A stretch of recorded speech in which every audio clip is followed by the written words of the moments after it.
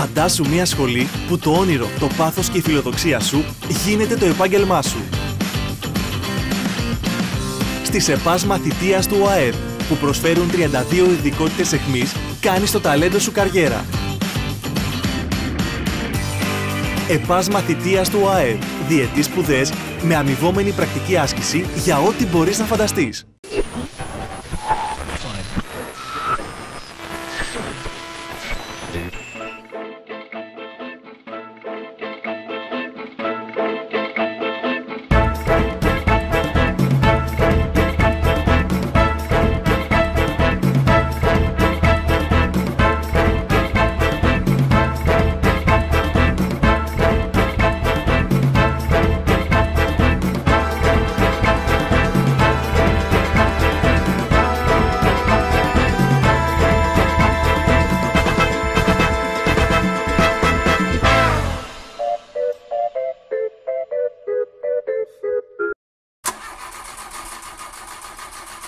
Έχετε πρόβλημα με το αυτοκίνητό σας, το πήρατε από το σερβις, αλλά συνεχίζει να διαμαρτύρεται. Μα έχετε μιλήσει με τον ειδικό; Αν όχι, ελάτε στο εξειδικευμένο συνεργείο Ρενό Βασίλης Γιάνναρος. Μόνο εδώ μπορείτε να έχετε λεπτομερή περιγραφή της κατάστασης του αυτοκίνητου σας. Οι τεχνικοί μας βρίσκονται κάθε στιγμή κοντά σας για να εξηγήσουν, να καθοδηγήσουν, να λύσουν το πρόβλημά σας. Ρενό Βασίλης Γιάνναρος. Ακτή Δημαίων 137 έναντι Βίλι Πάρκ. Τηλέφωνο 2610 525 779. Ρενό Βασίλης Γιάνναρος. Παντού, πάντα κοντά σας.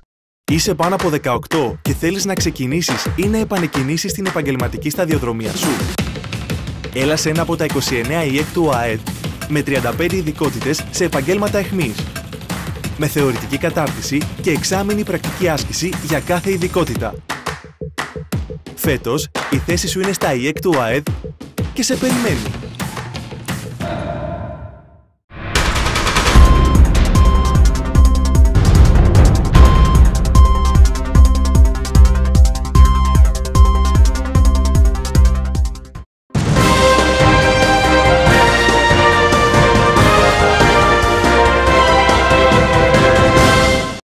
Κυρίες και κύριοι, καλησπέρα σας. Είναι ειδήσεις από την Πάτρα και τη Δυτική Ελλάδα από την τηλεόραση του Best.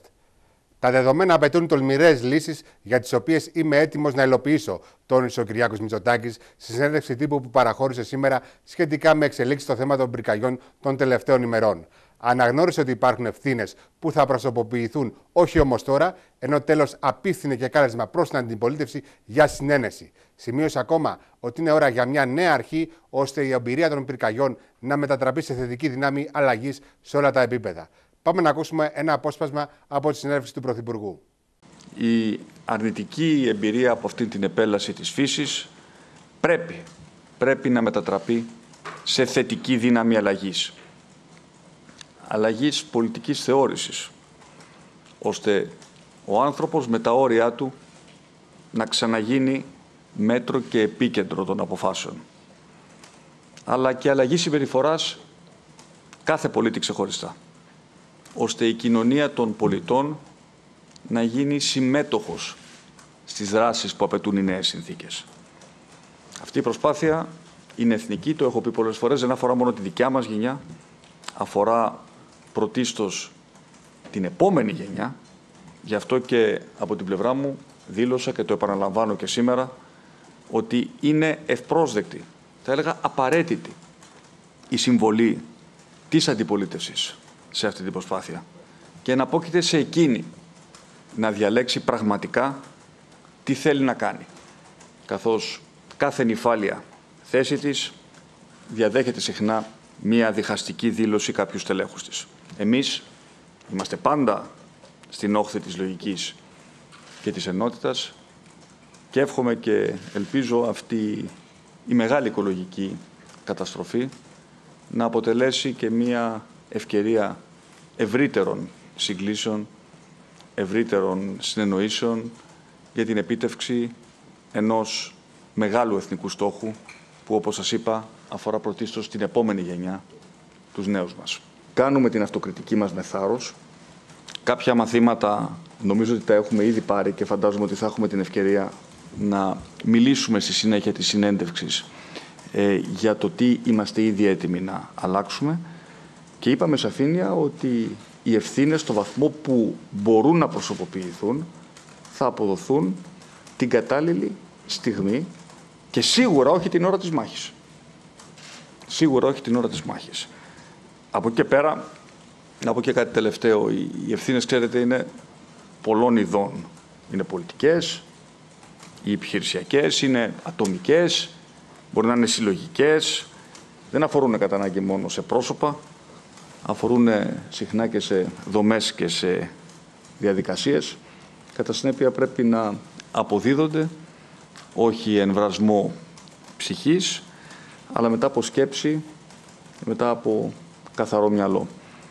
Πιστεύω ότι αυτή η κυβέρνηση έχει αποδείξει ότι δεν διστάζει να αναγνωρίσει τα λάθη της. Και να πάμε στο συνάδελφο Σωτήρη Παπαντρέου. Σωτήρη, είδαμε τα όσα είπε ο Πρωθυπουργός στη συνέντευξη τύπου την οποία παραχώρησε. Ε, έκανε μια αυτοκριτική, είπε ότι θα αποδοθούν ευθύνες, όχι όμως τώρα. Ναι, ε, Γιώργο, είναι γεγονός αδιαφυσβήτητο ότι η εικόνα του, της κυβέρνησης και, αλλά και του ίδιου του Πρωθυπουργού προσωπικά έχει πληγεί το τελευταίο διάστημα, τις τελευταίες ημέρες με τις καταστροφικές πυρκαγιές. Μην ξεχνάμε ότι το τίμημα είναι τεράστιο για τη χώρα μας, το περιβαλλοντικό αλλά και σε επίπεδο περιουσιών ε, και ευτυχώς όχι ανθρωπίνων ε, ζώων.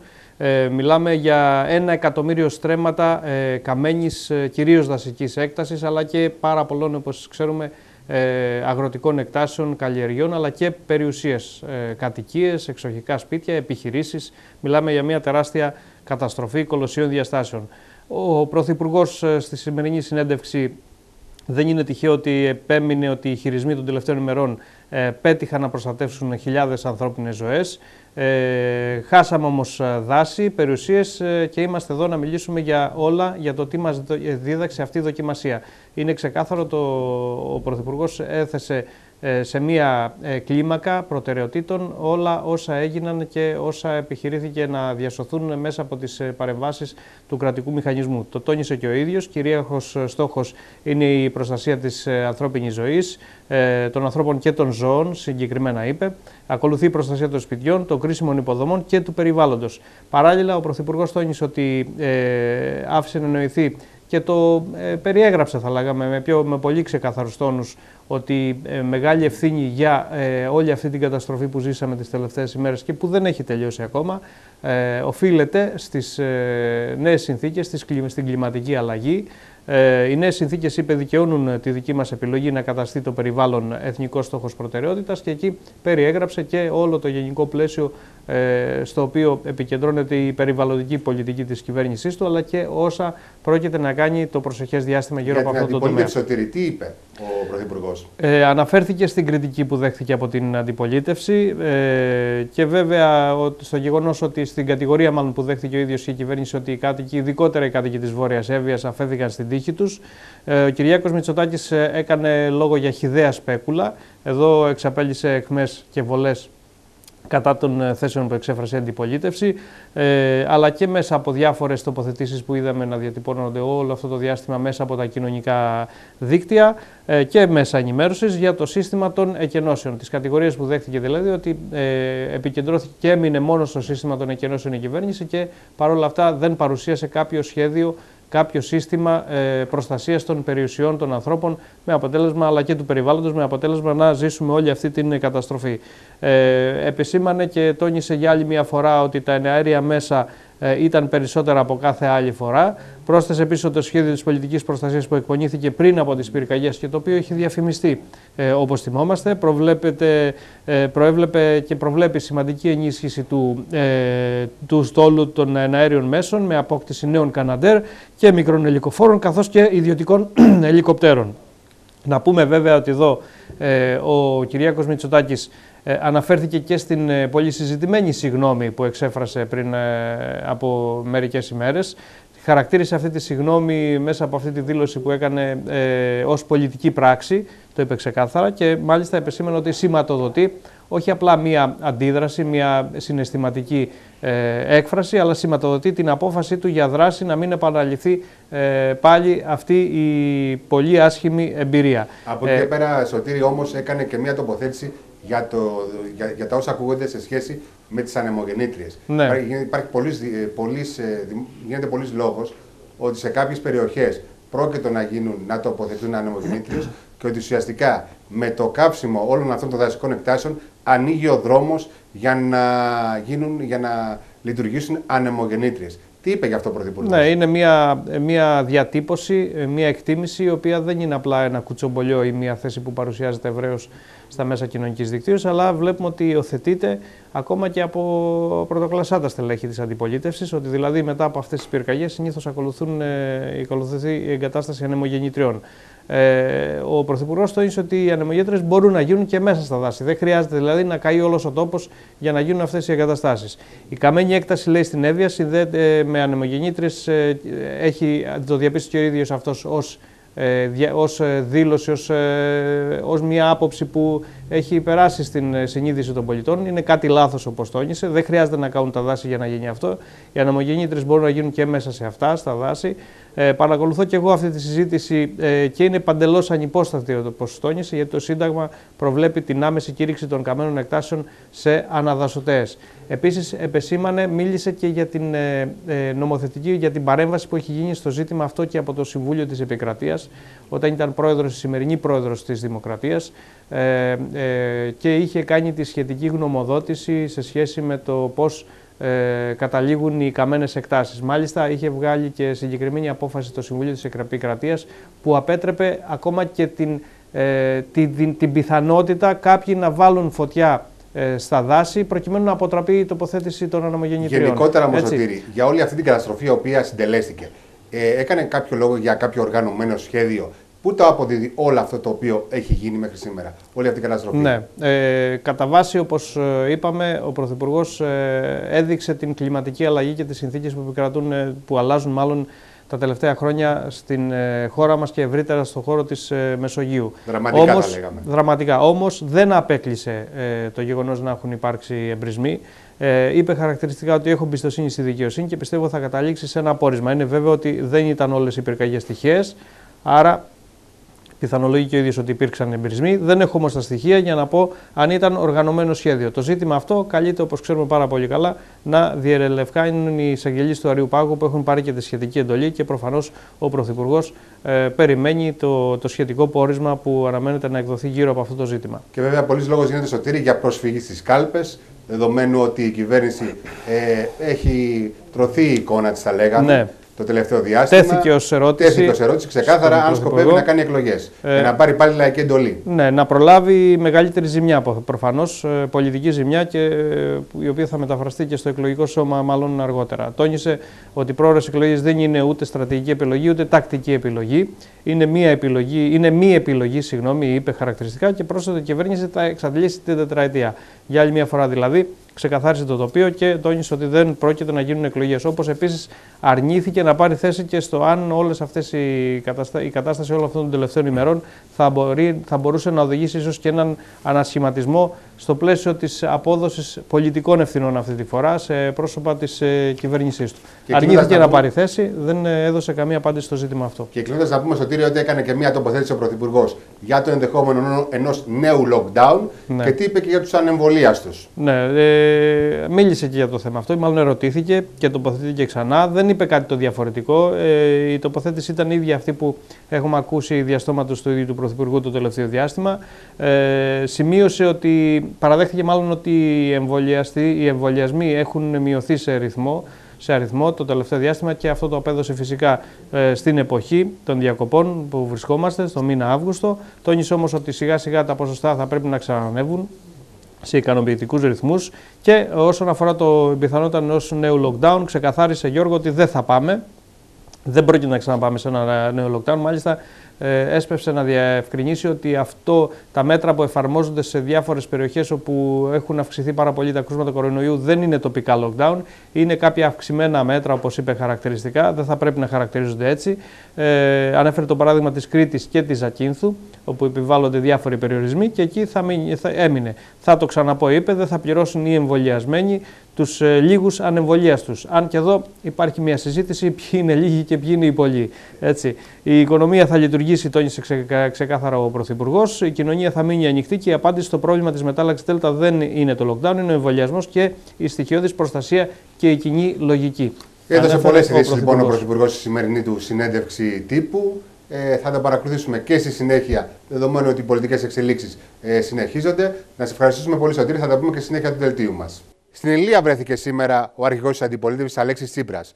Ο κ. Τσίπρας είχε συνάρτηση με τοπικούς φορείς, ενώ έκανε μια αποτίμηση της καταστροφής που έχει συντελεστεί στην περιοχή. Λυπάμαι πάρα πολύ, αλλά δυστυχώς δεν μπορώ να βρω ανταπόκριση στην έκκληση που έκανα πριν από δύο μέρες για να υπάρξει ένα ελάχιστο επίπεδο συμφωνίας στη σοβαρότητα και στην υπευθυνότητα. Ακούγοντας σήμερα και βλέποντας τον Πρωθυπουργό, τον κύριο Μητσοτάκη, εγώ αλλά πιστεύω και ο κάθε πολίτης θα αισθάνεται μεγαλύτερη ανησυχία και μεγαλύτερη ανασφάλεια τούτες τις ώρες. Δεν έχει συνειδητοποιήσει το μέγεθος της καταστροφής, δεν έχει συνειδητοποιήσει το μέγεθος της αδυναμίας του κρατικού μηχανισμού και της ανικανότητας του επιτελικού κράτους, δυστυχώς δεν έχει συνειδητοποιήσει και το μέγεθος των ευθυνών του. Στη σύλληψη της γιαγιάς ενός εξάχρονου αγοριού που εντοπίστηκε να περιφέρεται μόνο του στην περιοχή της Αγίας Σοφίας, προχώρησαν οι αστυνομικές αρχές. Στην ηλικιωμένη αστυνομική απέδωσαν ότι δεν έλαβε τα κατάλληλα μέτρα φύλαξης του αγοριού. Πάμε στη συνάδελφο Μαρία Σταθοπούλου να μας δώσει το ρεπορτάζ. Μαρία, καλησπέρα. Καλησπέρα Γιώργο, καλησπέρα κυρίες και κύριοι. Τη σύλληψη της γιαγιάς του εξάφρονου αγοριού που να θυμίσουμε εντοπίστηκε τη Δευτέρα συνόδευτο στην πλατεία της Αγίας Σοφίας, προχώρησαν οι αστυνομικοί. Ε, στη συγκεκριμένη γυναίκα η οποία συνελήφθη ε, είχε ανατεθεί η επίβλεψη και η φροντίδα του παιδιού τον τελευταίο μήνα και όπως αναφέρεται και στην ανακοίνωση της αστυνομίας, η γυναίκα αυτή δεν έλαβε τα κατάλληλα μέτρα φυλαξής του, θέτοντας σε κίνδυνο τη σωματική του ακαιρεότητα.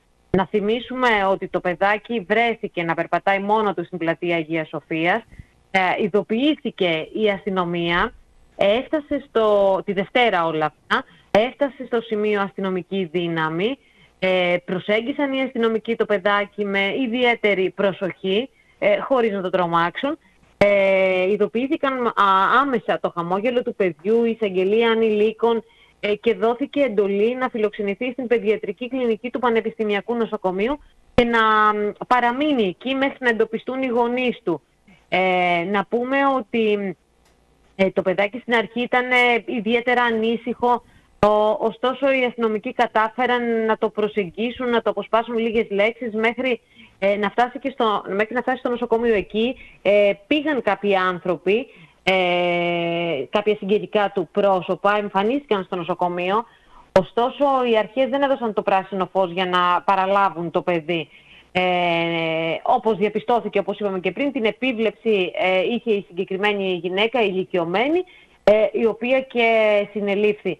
Ε, έγινε γνωστό όλο αυτό και κυκλοφόρησε μέσω των social media γιατί βγήκε ανακοίνωση από το χαμόγελο του παιδιού ε, και βρέθηκαν και φτάσαμε στην ε, ηλικιωμένη ε, γυναίκα.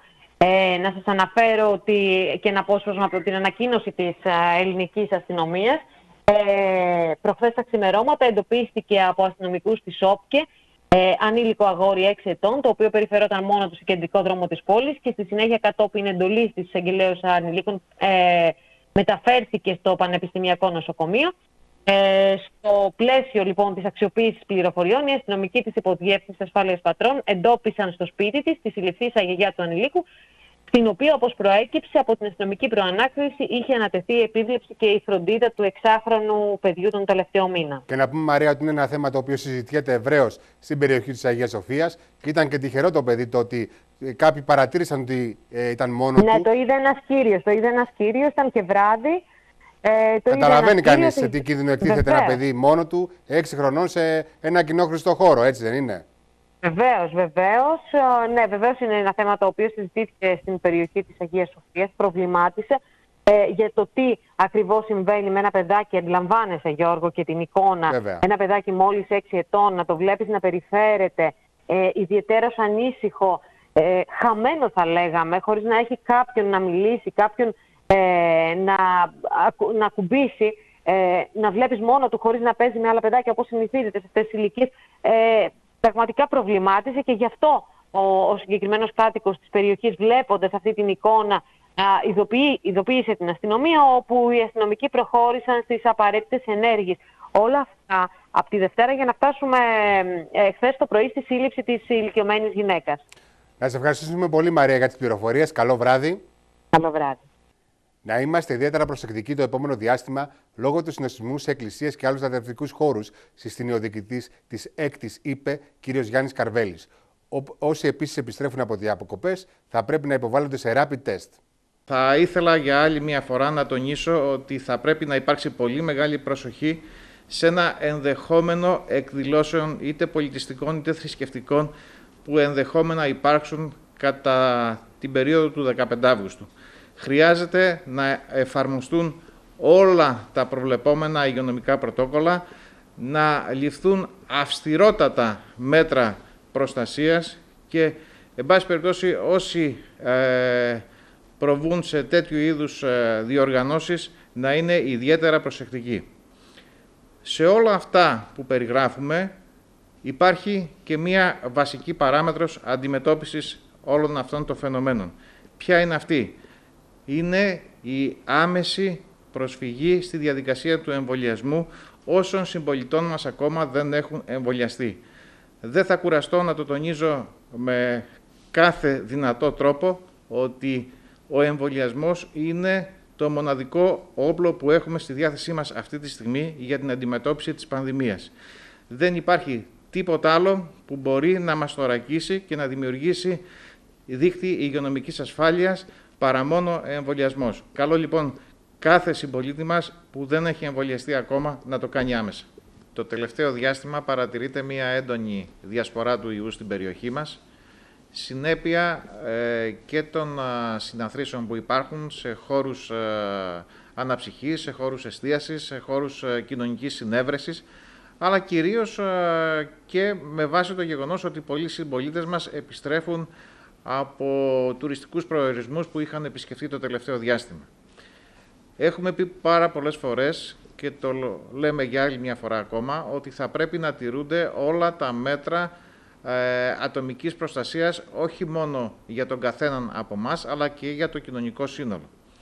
Κατά συνέπεια, πολύ μεγάλη προσοχή σε όλα αυτά τα μέτρα που έχει θεσπίσει η ελληνική πολιτεία, αλλά και σε όλες τις οδηγίες που δίνουν οι επιστήμονες, οι λοιμοξιολόγοι, οι ειδικοί, εν πάση περιπτώσει, για την ασφάλεια της δημόσιας υγείας.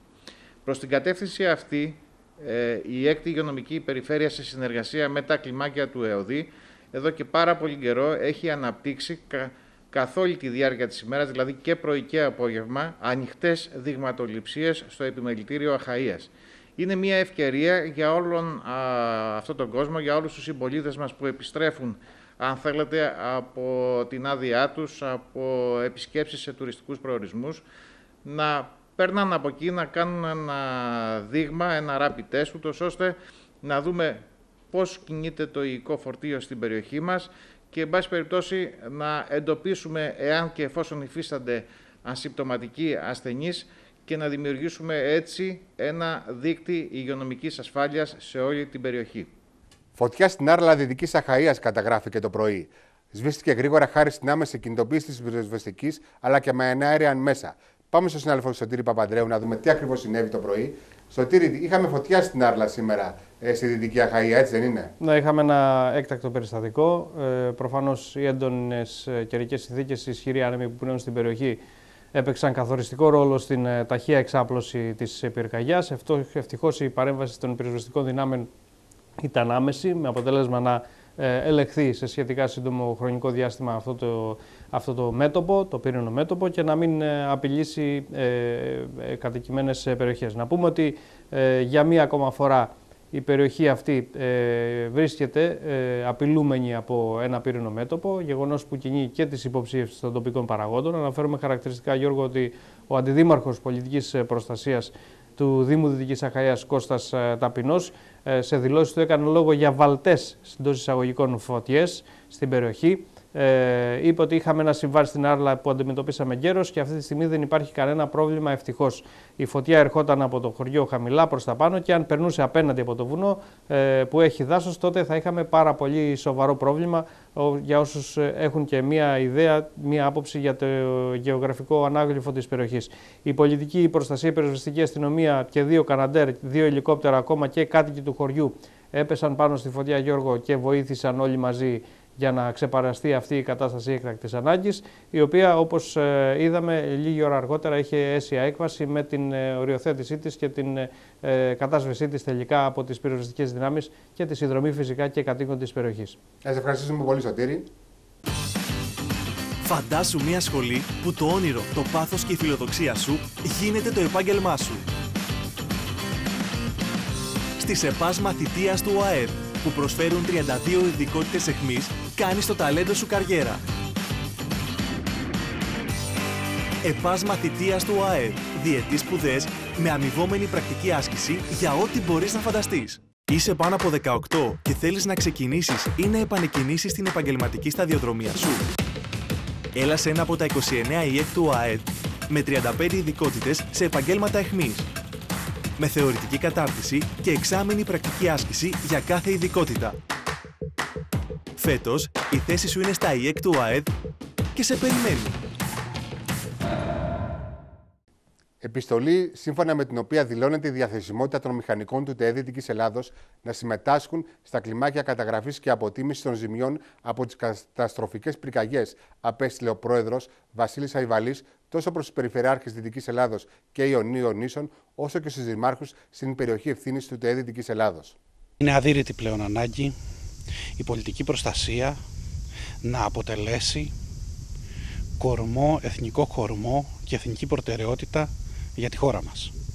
Δεν μπορεί κάθε χρόνο ένα από τα μεγαλύτερα ειδησιογραφικά, αν όχι το μεγαλύτερο ειδησιογραφικό γεγονός, να είναι μια φωτιά, ένα σεισμός, μια πλημμύρα. Δεν μπορεί εν έτη 2021 να χάνονται άνθρωποι κάθε χρόνο για έναν από αυτούς τους λόγους. Κοιτάξτε διαχρονικά όλα αυτά τα χρόνια. Κάθε χρόνο έχουμε ένα συμβάν. Στη χώρα μας η πολιτική προστασία πρέπει να πάψει πλέον να είναι δεύτερης κατηγορίας θέμα για την πολιτεία. Πρέπει να είναι πρώτης όπως είναι η οικονομία, όπως είναι η ενέργεια, όπως είναι τα εθνικά θέματα. Και να δοθεί σημασία περισσότερο στην πρόληψη, όχι στην καταστολή, στην αποκατάσταση. Ξέρετε, εάν μας φύγει μια μεγάλη φωτιά ή μια μεγάλη πλημμύρα και δεν έχουμε κάνει τις απαραίτητες ενέργειες πρωτίστως υπάρχει μεγάλη πιθανότητα να πέσει όλος ο κόσμος επάνω και να μην μπορούμε στην καταστολή να αντιμετωπίσουμε αυτό το γεγονός. Θυμηθείτε τι έγινε πριν από λίγα χρόνια στην Αυστραλία. Άρα η χώρα μας πρέπει να βάλει σε προτεραιότητα την πολιτική προστασία και την πρόληψη αυτής. Κάτι τέτοιο έχει κάνει και το Τεχνικό Επιμελητήριο εδώ και χρόνια. Το Τεχνικό Επιμελητήριο Δυτικής Ελλάδας τι έχει κάνει; Έχει συστήσει ένα μητρό εθελοντών μηχανικών για την αντιμετώπιση των φυσικών καταστροφών και το έχει στη διάθεση της πολιτείας, το οποίο μητρό σε τακτά χρονικά διαστήματα το εκπαιδεύει, έτσι ώστε όλοι οι μηχανικοί που συμμετέχουν σε αυτό να είναι ενημερωμένοι για τις τρέχουσες εξελίξεις, το εκπαιδεύει και το έχει στη διάθεση της πολιτείας για να συνδράμει και αυτό ε, α, όποτε χρειαστεί και το αποφασίσει και το θελήσει η πολιτεία στα κλιμάκια τα οποία γίνονται σε κάθε περίπτωση. Έτσι και με την επιστολή μας εμείς σαν τεχνικό επιμελητήριο θέτουμε αυτόν σαν τεχνικό επιμελητήριο Δυτικής Ελλάδος όλους τους μηχανικούς μας από το συγκεκριμένο μητρό οι οποίοι όπως σας είπα είναι εκπαιδευμένοι προκειμένου να συμμετάσχουν και να προσφέρουν τη δουλειά τους ε, στο κομμάτι της ε, καταγραφής όλων των προβλημάτων το, τα οποία υπάρχουν. Το σημαντικό όμως που πρέπει να δοθεί αυτή τη στιγμή σαν προτεραιότητα και το λέμε σαν μηχανική είναι ότι στο κομμάτι που βρισκόμαστε αυτή τη στιγμή θα πρέπει άμεσα να κηρυχθούν το είπε ο Πρωθυπουργός λέμε χωρίς καμία άμεσα, χωρίς καμία διαδικασία χρονοτριβής ε, αναδασωτές συγκεκριμένες περιοχές για να μην μπορεί κανένας να χτίσει το οτιδήποτε μέσα σε αυτές τις περιοχές. Ενώ παράλληλα να προχωρήσουν οι διαδικασίες αποκομιδής των καμένων και αναδάσωσης των περιοχών γιατί με την ε, κλιματική αλλαγή η οποία υπάρχει υπάρχει μεγάλη επικινδυνότητα το μεγαλύτερο πρόβλημα να το έχουμε μπροστά μας. Και ποιο είναι αυτό; Οι πλημμύρες στις συγκεκριμένες περιοχές. Γνωρίζουμε το δάσος πώς κατακρατεί όλα τα χώματα. Τη γη μας. Θα πρέπει συνεπώς άμεσα πριν πιάσει ο χειμώνας να γίνουν όλες οι απαραίτητες ενέργειες και εμείς είμαστε εδώ σαν τεχνικό επιμελητήριο Δυτικής Ελλάδος να προσφέρουμε έτσι ώστε να γίνουν όλες οι απαραίτητες ενέργειες για να μην θρηνήσουμε θύματα και επιπλέον καταστροφές με ενδεχόμενες πλημμύρες οι οποίες θα έρθουν στο μέλλον στην περιοχή.